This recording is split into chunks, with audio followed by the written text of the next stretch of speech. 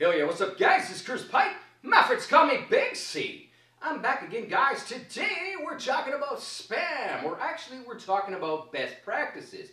But like I said in my last videos, YouTube and by extension the networks have had to crack down on people that do spammy things. Now 99 out of 100 people are not spam channels and most people don't do spammy things on purpose. Most of the time, it's just an accident or you weren't aware of it. And that's what this series is. So for those of you that are watching this saying, hey, I'm not a spammer, we know that. We get that.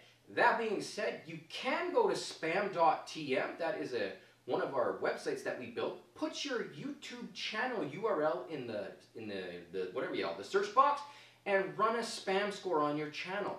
Not only are you going to get a score like 1% or 2% or 4% like I got because I wasn't doing things right, but you're also going to get a whole bunch of suggestions on how to improve your channel to A, not, you know, to avoid the spammy things and B, to follow best practices and put yourself in YouTube's good books. If you're in YouTube's good books, I don't have to tell you, you know what, YouTube will send you more views, you'll be search engine optimized a little better, and you'll just get more love, and more love means more money or more views or whatever you're in it for. I don't know, guys. So anyways, check that out, spam.tm. With that huge mouthful out of the way, like I said in the past, there are 38 indicators now that Freedom has found that could be related to spam practices. And one of them is the About page, in particular, your YouTube About page. If your YouTube About page, first off, is blank, you need to go ahead and change that quickly. And all you got to do is go into Creator Studio, then go to View Channel, and then go to About. I'm pretty sure that's the technique. It's pretty, it's pretty easy to do, but sometimes it's hard to find if you don't know where to look for it. Go into your About page, and here's what you need to do. Write up a piece about you. What is your YouTube channel? What type of videos do you do? Do you do gaming videos? Do you do Let's Plays? Do you do comedy, sketch comedy, anything and everything that you can think of that's relevant to you, that isn't keywordy spammy, Put it in there. There is no penalty for that. In fact, YouTube respects that because a lot of bad spam channels, when they start taking content and do copycat things and stuff like that, they don't bother filling out the about page because, well, whatever. So anyways, that is one indicator.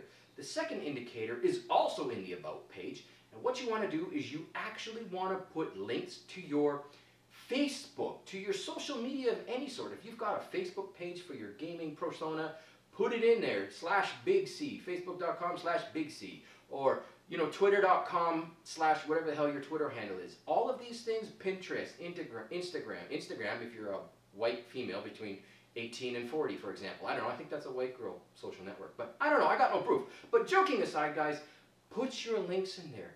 Some of us may feel a natural reticence or hesitance to not post that in there because you're feeling like you're being self-promoting or you're marketing yourself. But guys, that's expected. If you post a YouTube video, YouTube and networks expect you to promote yourself. That's how people make it in this world. So go ahead and put those things in now. Now, if those things aren't in your About page, like I said, go stop this video and do it. The final piece of suggestion, or the final suggestion I have, is when you post a video, your description, and we'll talk about descriptions later, but one of the things a lot of people don't do is they don't post links to their social networking.